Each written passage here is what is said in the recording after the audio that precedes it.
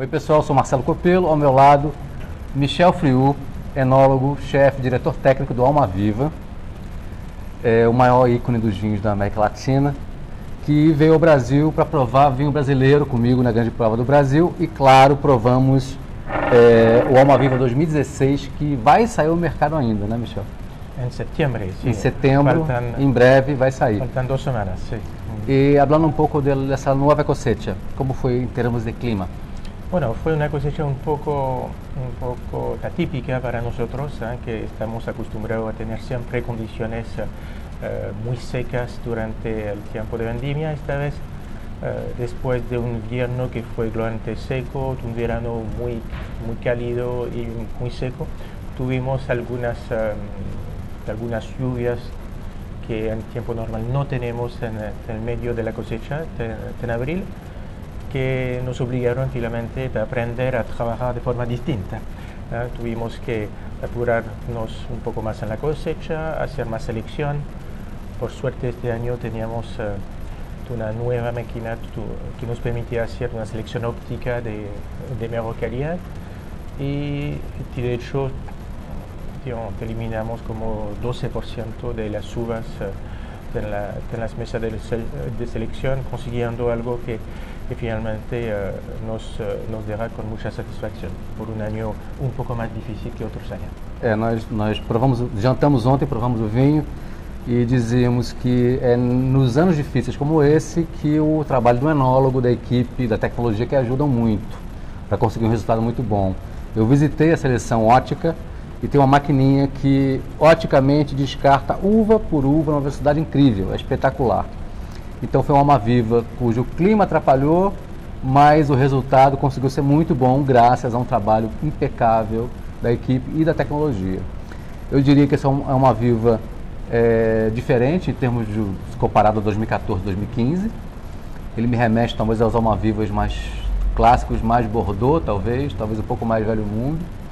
Ele tem um pouquinho menos de madeira, mas a madeira parece um pouquinho mais. Acho que o vinho absorveu talvez um pouco menos. E é um pouco mais vertical, taninos presentes, taninos muito firmes.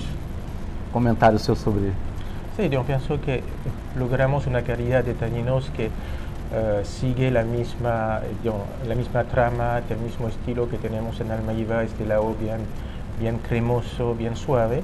Seguramente no tenemos el mismo nivel de densidad, de concentración que otros eh, Mm. años como 2014, 2011, pero mm, pienso que es una Almaíba fiel a, sus, eh, a su terroir y a su estilo eh, y un vino de- con, con mucha elegancia y de mucha accesibilidad. Não, com certeza. Eh, Brincando com ele ontem no jantar, eu dizia que Alma Viva tem uma regularidade incrível. O clima varia, mas a qualidade, o padrão e a elegância continuam as mesmas. Que até inco- comparável, sem querer comparar qualidade e estilo, mas em termos de eh, regularidade, eu diria que o Alma Viva ganha do Mouton, que é o seu, é seu patrão. Yo no me permitiría, Eu falei, não ele. yo no me permitiría Mas a tipo de qualidade do. Mouton varia mais do que a do Alma Viva, digamos, sem querer comparar estilo e a qualidade final do vinho. Mas parabéns por mais essa Alma Viva. Vou tomar um golinho aqui e te perguntar de vinho brasileiro. Você está pela segunda vez na grande prova do Brasil. O que, que você está achando? Bueno, sí, es la verdad que la primera vez fue un descubrimiento com- completo, una experiencia importante. Y la segunda vez, obviamente, eh, eh, con nuevos cepajes eh, es una nueva experiencia, pero con cepajes que, uno te había probado hace dos años, permitimos ver la, se permite ver cómo los vinos brasileños han crecido en, en calidad, en, en, em, en consistencia.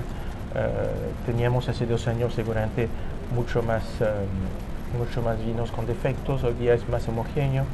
Eh, hay claramente algunas variedades que, eh, que se destacan más, como el Chardonnay, eh, de lo que probamos eh, en la mañana. Ok, viram? Então, um enólogo dos maiores do mundo veio ao Brasil provar nossos vinhos e voltou. Obrigado, Michel. A nossa